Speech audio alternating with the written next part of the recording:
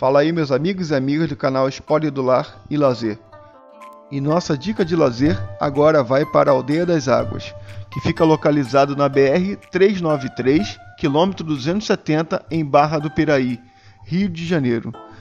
O local conta com 17 piscinas, toboáguas, rio corredeira, piscinas de ondas e ainda possui o maior toboágua do mundo, com aproximadamente 50 metros de altura. O parque possui 330 mil metros quadrados de área para sua diversão. É um lugar que eu recomendo bastante para seu passeio, para sua diversão, para passar um dia com a sua família, para passar um dia com seus filhos.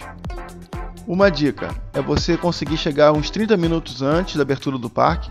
Né? O parque abre entre 9 e 9 e meia da manhã e seu fechamento é às 5 da tarde. Então você chegando um pouco antes, você vai enfrentar uma certa fila, mas também vai conseguir aproveitar mais do parque, tendo em vista que ele pela manhã é um pouco mais vazio. Então você irá conseguir usufruir mais das suas dependências, né? Terá mais tranquilidade para conhecer todas as piscinas, explorar todos os espaços. O ideal é que logo na sua entrada, logo pela manhã, se dirija para a piscina de ondas, que é a que fica um pouco mais cheia. Outra dica para sua tranquilidade é você utilizar os guardas-volumes. O parque possui dois guardas-volumes, um próximo à entrada e outro próximo à piscina de ondas. Não me lembro muito bem do valor, mas estava entre 20 ou 25 reais. Eu indico a vocês utilizarem o guarda-volumes, porque quanto menos objetos nas mãos, você terá um passeio mais tranquilo evitando a preocupação de ficar vigiando a sua mochila, seu celular, seus objetos. Então, logo na entrada, você irá se dirigir a um guichê.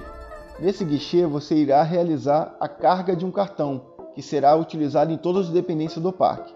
Nesse guichê, você também pode efetuar o pagamento do guarda-volume e pegar a chave do armário que você utilizará. Após isso, você irá se dirigir ao guarda-volume e lá guardar os seus objetos.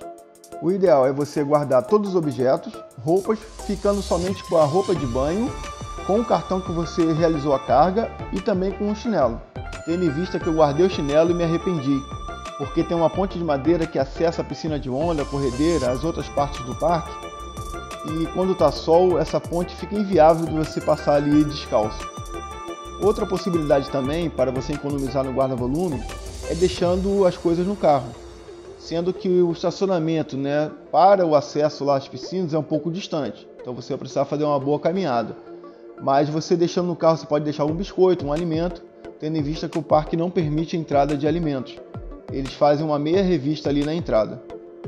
O valor do ingresso atualmente está custando R$ 55 para adultos e R$ 15 para crianças. Lembrando que esse valor é para baixa temporada. Então, pessoal, eu termino aqui a minha fala Continue assistindo aos vídeos, onde eu vou estar mostrando para vocês as dependências do parque. As piscinas, a piscina de onda, a corredeira, né, o toboágua. E ao término vou estar mostrando um pouco da fazendinha. Então continue aí assistindo ao vídeo.